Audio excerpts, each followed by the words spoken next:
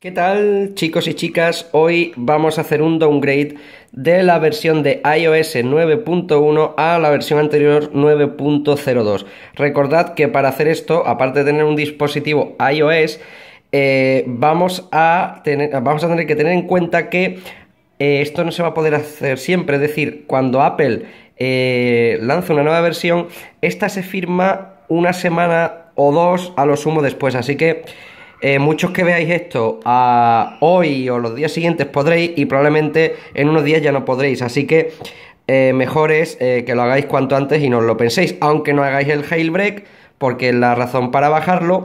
Pero al menos ya tenéis la versión 9.02 que no cambia mucho a la versión 9.1. Tenemos nuestro dispositivo iOS, en concreto el mío es el iPad mini 4, como podéis ver en el review en mi canal. Y vamos a necesitar dos cosas muy eh, importantes de aquí. Lo primero es tener claro nuestro modelo. Y lo segundo, la versión que tenemos instalado de iOS. Nosotros vamos a entrar en, en ajustes en general y dentro de general en la pestaña primera que es información. Aquí vamos a encontrar eh, dos datos que nos van a interesar, que como digo que son la versión y el modelo. Donde pone modelo podemos ponerlo en internet y eh, eh, probablemente en cualquier página nos va a decir a qué corresponde este eh, número en concreto. También podéis utilizar programas como MacTracker donde os dice exactamente los modelos que, que utilizamos. No obstante, encontrar el modelo es bastante sencillo porque sabemos lo que compramos, es decir, vamos a saber si es eh, un iPad mini, por ejemplo, 4 de 16 GB, si es un iPhone 6 Plus de 32 GB, y todo esto lo vamos a saber si no tenemos la caja, y si no, pues eh, podéis preguntar. En este caso, como digo, yo tengo el iPad mini 4 de 16 GB con la versión 9.1 que vamos a bajar a la 9.02. Así que ahora nos vamos a ir al ordenador y vamos a continuar con el downgrade. En el ordenador lo que vamos a hacer es eh, poner en, en la búsqueda en Safari, por ejemplo, vamos a poner el eh, model o modelo o simplemente el modelo de nuestro equipo.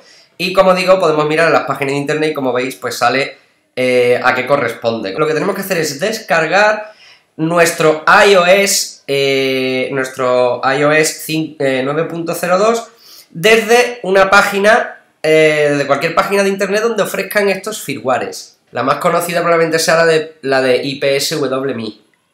Aquí vamos a elegir nuestro, en nuestro iPad, en concreto el mío, como ya habéis visto, es el iPad mini 4, que es el modelo Wi-Fi que está aquí, y vamos a seleccionar la versión de iOS que queremos.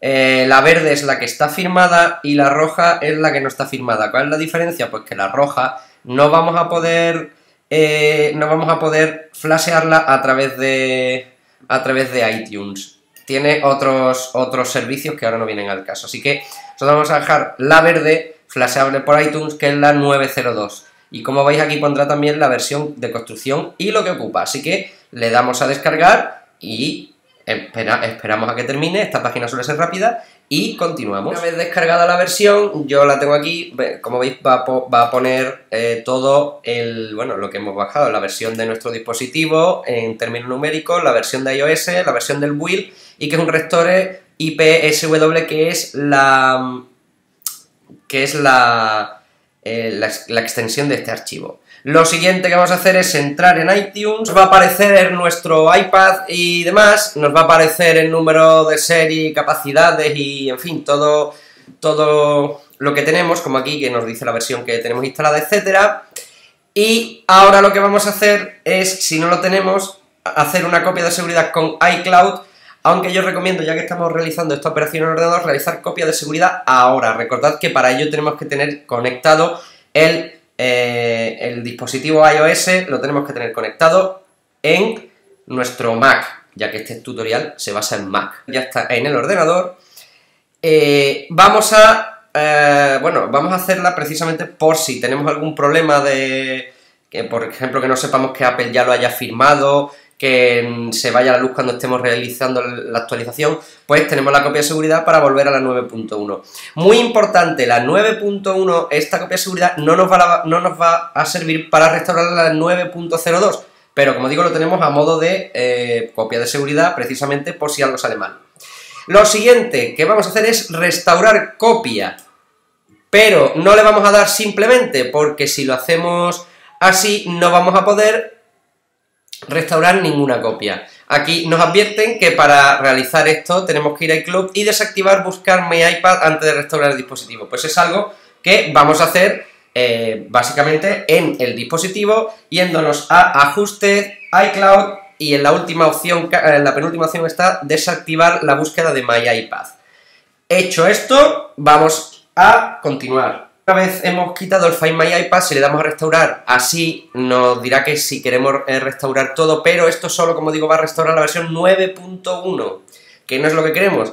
Así que, para eh, restaurarlo vamos a pulsar el botón de nuestro teclado Alt, dejarlo pulsado y dar nuevamente a restaurar el iPad. Y como veis, vamos a tener eh, un, un Finder para elegir nuestra versión. Vamos a elegir la que nos hemos descargado, comprobar que es esta, y nos va a, preguntar que si, bueno, que se va a borrar el iPad, se va a restaurar en la versión 9.02 de iOS y que lo verifique. Vamos a restaurar y entonces comenzará la, este, la extracción, verificación e instalación del software. Así que vamos a esperar a que lo haga y seguimos con los pasos. Cuando toda la, cuando toda la, la extracción del software de, parte del firmware que acabamos de eh, intentamos instalar se ha concluido en el, en el iTunes, ahora eh, en nuestro iPad va, a empezar a parpadear y se va a empezar a instalar la instalación, eh, la instalación, valga la redundancia, y como podéis ver aquí tenemos una barra de progreso que es la que tiene que terminar. Mientras tanto, en nuestro ordenador tendremos el, la, la correspondiente información sobre la restauración verificando restauración, eh, eh, el iPad eh, del nombre del iPad y como digo empezará a hacerlo esto en nuestro sistema. Así que vamos a esperar un poco a ver cómo termina la restauración del mismo. Cuando toda la, la, extracción del software de, parte del firmware que acabamos de intentamos instalar se ha concluido en el, en el iTunes, Ahora eh, en nuestro iPad va, a empezar a parpadear y se va a empezar a instalar la, eh, la, instalación, valga la redundancia, y como podéis ver aquí tenemos una barra de progreso que es la que tiene que terminar. Mientras tanto, en nuestro ordenador tendremos el, eh, la, la correspondiente información sobre la restauración, verificando restauración, eh, eh, el iPad eh, del nombre del iPad y como digo empezará a hacerlo esto en nuestro sistema. Así que vamos a esperar un poco a ver cómo termina la restauración del mismo.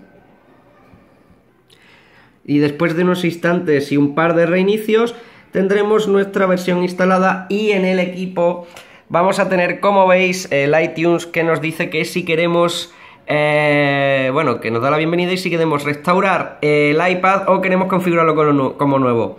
Voy a darle a restaurar, que como veis es la última fecha que se hace un rato y veréis lo que pasa. Si le damos a continuar, nos dice que no se puede no se, puede, no se puede restaurar el iPad porque la copia de seguridad es de un software antiguo. Eso quiere decir que ha funcionado nuestra, eh, nuestra, bueno, pues nuestra, nuestro downgrade. De todas maneras, pues vamos a aceptar y lo vamos a configurar aquí como nuevo.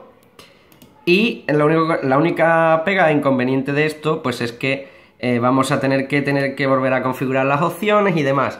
Dentro ya del iPad, como veis, tenemos nuestra versión 9.02 lista para poder utilizar, aunque como os digo, y no queráis utilizar el, el al menos tenéis la versión que está preparada para ello. Entonces lo único que nos quedaría es terminar de configurar la eh, de configurar el iPad y listo. Y ya disfrutaremos de una versión 9.02 limpita y eh, a la espera de que hagáis Jailbreak o que esté disponible para nuevas versiones, pero como la 9.1 aporta eh, en teoría poco para, para algunos dispositivos, pues quizás venga mejor tener la 902 y esperar futuros acontecimientos de Jailbreak si no os molesta mucho. Así que lo dicho, esto es todo, espero que os haya gustado y sobre todo que os sirva y recordad, no lo penséis mucho porque a lo mejor en estos momentos Apple está firmando la 9.1 y no podéis volver atrás. Así que un saludo a todos, un abrazo, adiós.